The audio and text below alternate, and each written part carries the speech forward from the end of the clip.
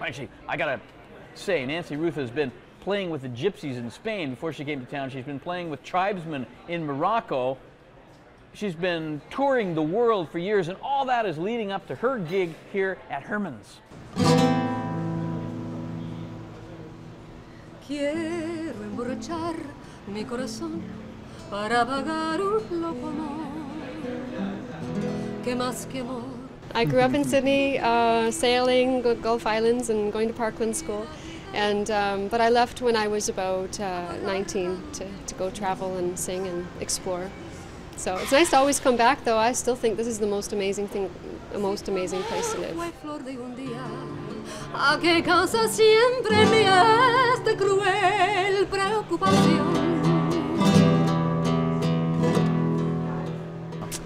I've come back to Vancouver after being based in Spain for about eight or ten years. So yeah, nice to be back in, in Vancouver. Nice to have been in Spain. Yeah, well, I fell in love with Spain. Yeah, everything about it. I, I have Spanish roots that go way, way, way back. So it was nice to be able to to uh, to live that whole experience because it's it's just in me somewhere. So it's creatively fantastic.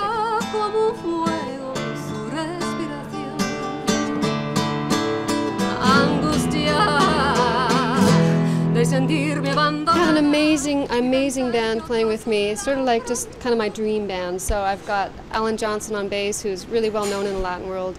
Um, Ron Hadley, who lives up in Qualicum, just a fabulous jazz piano player. Jose Pepe Danza, who's a percussionist, who's just out of this world, fantastic. And um, Victoria's own Alfons Fear, who's a brilliant trumpet player, will be playing with us as well. Desde mi triste soledad rosas.